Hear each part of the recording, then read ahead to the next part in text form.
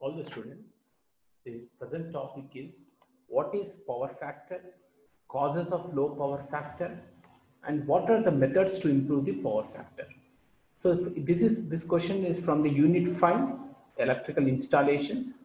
As I mentioned, unit 5 has got theory questions where the power factor improvement is very important. So first, in general terms, what is this power factor? Power factor explains the quality of power transferred from source to load.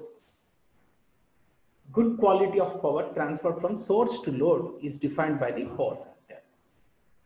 So this video is created only for the examination point of view. The power factor formula is cos theta, cosine of the angle between voltage and current. Cos theta is the ratio of active power by apparent power. The active power is we can write. So from this expression active p is equal to vi cos theta. Everybody know the ac power is p is equal to vi cos theta. So from that expression power factor equal to p by vi and this relation is important. I is equal to p by v cos theta. So from this expression current is inversely proportional to the power factor. So where whenever the power factor value is less low power factor value is 0.2 to 0.3. Whenever the low power factor value is very much less, large current flows through the equipments. In rural areas, when the good quality of power is not maintained, low power factor will be achieved. During that particular period of time, the flow of current through the equipments also increases. So few machines may get damaged, the boring machines so always we are supposed to maintain a good value of power factor. The practical value of power factor in India is 0.8. Economical power factor is 0.95. Maximum value of power factor is 1.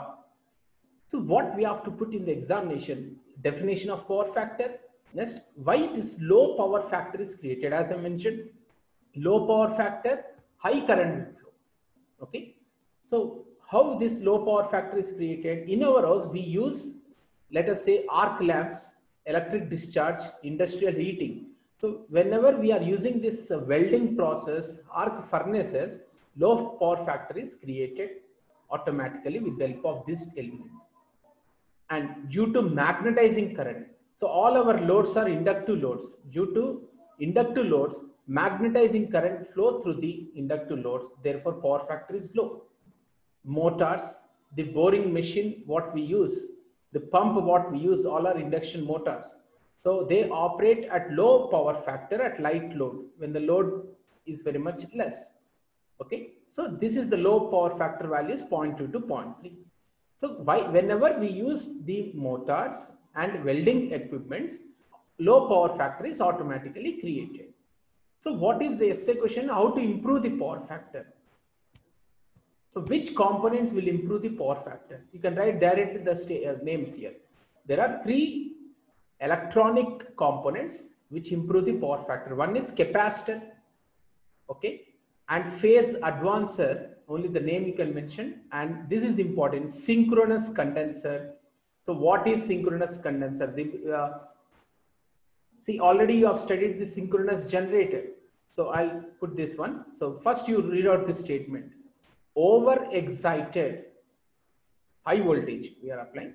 Overexcited synchronous machine operating under no load condition is called the synchronous condenser. That means no need to study any new topic for the synchronous condenser. Synchronous generator you can write as it is the explanation.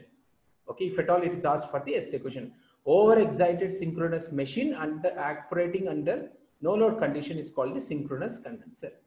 So what are the three major components which improve the power factor is capacitor improves the power factor. Synchronous condenser is the overexcited synchronous machine operating under no load condition is synchronous condenser. It improves the power factor.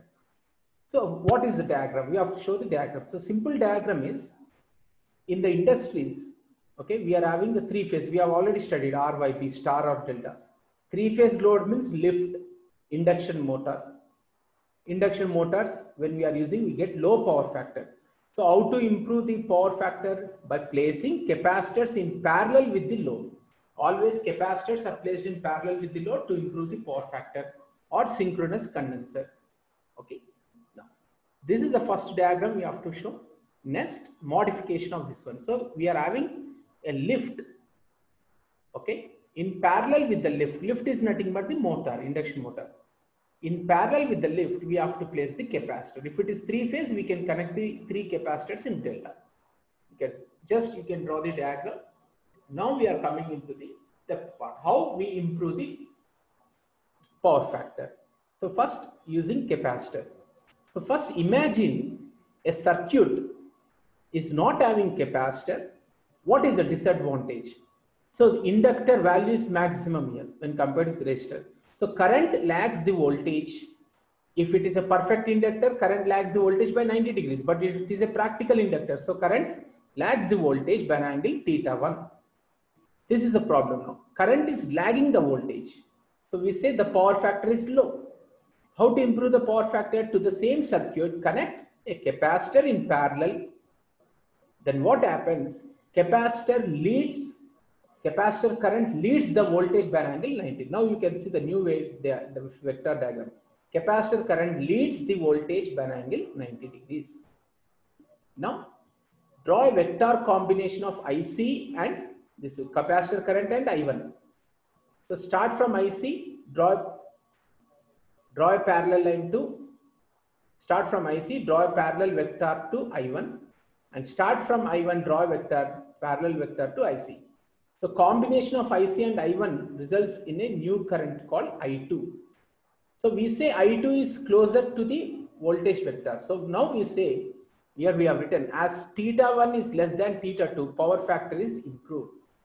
So I1 lags V, capacitor current leads voltage by 90 degrees. I2 moves closer to V when compared with I1. These are the three points you are supposed to mention. This vector diagram, what you are showing, it, it is a proof that power factor is improved. Power factor definition, motors, welding equipments creates low power factor. So how to improve the power factor?